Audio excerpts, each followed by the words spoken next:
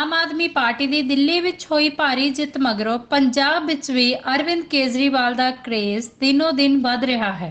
ਹਿੰਦੁਸਤਾਨ ਦੇ ਵਿੱਚ ਇੱਕ ਚੰਗੀ ਰਾਜਨੀਤੀ ਦੀ ਸ਼ੁਰੂਆਤ ਹੋਈ ਹੈ। ਔਰ ਦਿਲੋਂ ਖੁਸ਼ੀ ਹੈ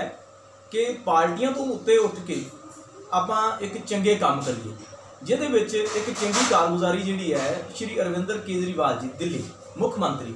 ਜਿਨ੍ਹਾਂ ਨੇ ਆਪਣਾ ਇੱਕ ਨਵੀਂ ਸੋਚ ਲਿਆ ਕੇ, ਨਵਾਂ ਜਾਗਰੂਕ ਲੋਕਾਂ ਨੂੰ ਕਰਕੇ ਔਰ ਚੰਗੀਆਂ ਨੀਤੀਆਂ ਬਣਾ ਕੇ ਇੱਕ ਮਾਰੂ ਸੋਚ ਨੂੰ ਦੂਰ, ਦਰਕਨਾਰ ਕਰਕੇ। ਆਪਣੇ ਆਪ ਨੂੰ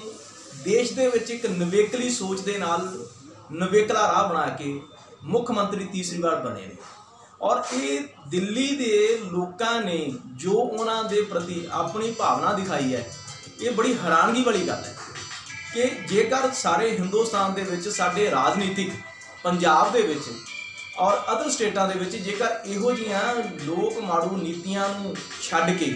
ਚੰਗੀਆਂ ਨੀਤੀਆਂ ਅਪਣਾਈਆਂ ਜਾਣ, ਪਾਣੀ, ਬਿਜਲੀ ਔਰ ਲੋਕਾਂ ਦੀਆਂ ਮੁੱਢਲੀ ਸਹੂਲਤਾਂ ਜਿਹੜੀਆਂ ਨੇ, ਜੇਕਰ ਉਹਨਾਂ ਦਾ ਧਿਆਨ ਰੱਖਿਆ ਜਾਵੇ, ਪੜ੍ਹਾਈ ਦਾ ਧਿਆਨ ਰੱਖਿਆ ਜਾਵੇ, ਤੇ ਮੇਰੇ ਖਿਆਲ ਨਾਲ ਨਹੀਂ ਵੀ ਇਸ ਮੁਲਕ ਦੇ ਵਿੱਚ ਜੇ ਰਾਜਨੀਤਿਕ ਚੰਗੇ ਢੰਗ ਦੇ ਨਾਲ ਕੀਤੀ ਜਾਵੇ, ਤੇ ਉਹਦੀਆਂ ਜੜ੍ਹਾਂ ਉਖਾੜਨ ਵਾਲਾ ਇਸ ਦੁਨੀਆ ਦੇ ਵਿੱਚ ਕੋਈ ਪੈਦਾ ਨਹੀਂ ਹੋਇਆ। ਇਸ ਕਰਕੇ ਮੈਂ ਫਿਰ ਤੋਂ ਅਰਵਿੰਦਰ ਕੇਜਰੀਵਾਲ ਜੀ ਦਾ ਧੰਨਵਾਦੀ ਹਾਂ ਕਿ ਜਿਨ੍ਹਾਂ ਨੇ ਲੋਕ ਮਾਰੂ ਨੀਤੀਆਂ ਨੂੰ ਛੱਡ ਕੇ ਇੱਕ ਚੰਗੀ ਸੋਚ ਅਪਣਾ ਕੇ ਲੋਕਾਂ ਨੂੰ ਚੰਗੀ ਦਿਸ਼ਾ ਦਿੱਤੀ। ਧੰਨਵਾਦ, ਸਰ।